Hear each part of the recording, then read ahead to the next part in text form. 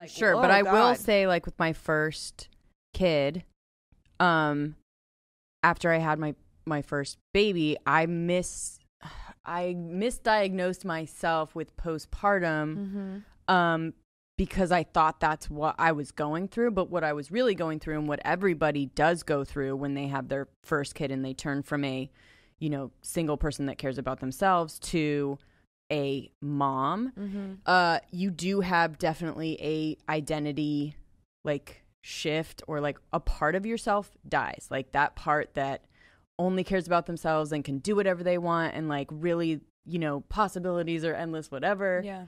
um and you're friends with whoever you want and blah blah blah but like that dies and it is you definitely mourn it for a little bit and the joy of having I your kid is like coinciding with it so you're not just in a pit of despair. You shouldn't be anyways. But um if you are that's probably postpartum. But you definitely have um you have this moment of like saying goodbye to who you were. I and think it that's natural, really though. really hard for people was really really hard for me.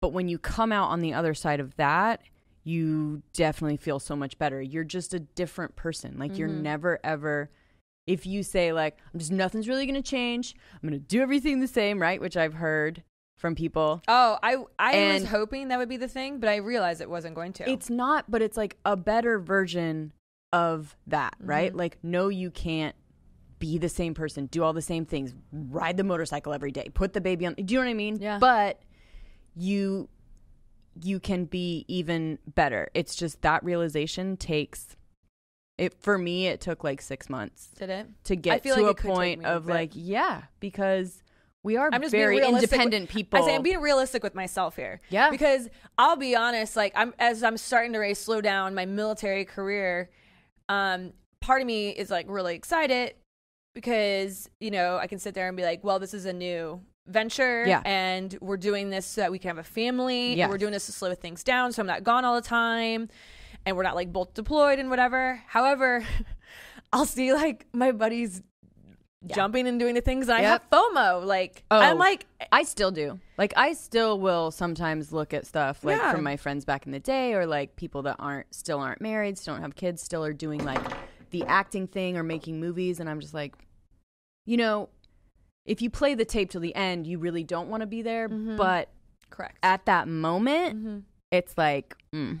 And you will always have that and just don't let it get you it i let i didn't have anyone to talk to about it but it let it get me really down and then Mhm. thought i had postpartum and it's really not i think it's just a normal mourning of yourself Yeah. that you used to be and you will get back to whatever that new self is going to be Mhm. but you know they say like give yourself a break right? But it is It's hard. it is We're- true. I did not know this. worst Like, i did not know this. and- i didn't have i didn't listen to anybody about it. I couldn't i didn't talk to anyone about it. So if anybody's feeling like that out there Yeah. you know. I mean, I've heard girlfriends before tell me that after they've had kids, that they've they've felt really bad and they've kicked themselves so much for not feeling like the super maternal bliss of Oh, like yeah. did not feel that "Ah, like I'm so in love Mm-mm. with you and some of them are like is there something wrong with me No. should I be feeling this way no and I'm sitting there going, you know what? I feel like everyone's experience is so super unique. And I don't think anyone could sit there and go, no, you're wrong. Like, your feelings, like, no one's feelings should be wrong. Like, if that's how you feel, like, no then that's fine. There is like there is a there are symptoms of postpartum.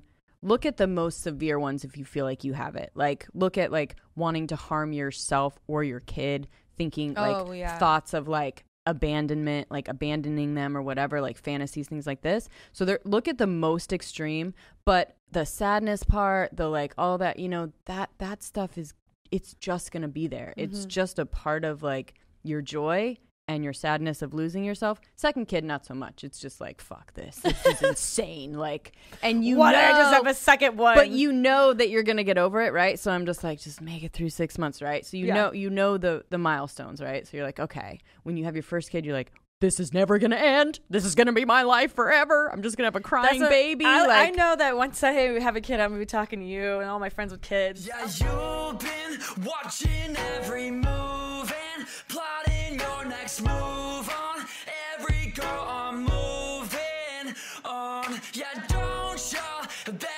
things to do, yeah, go buy some fucking shoes.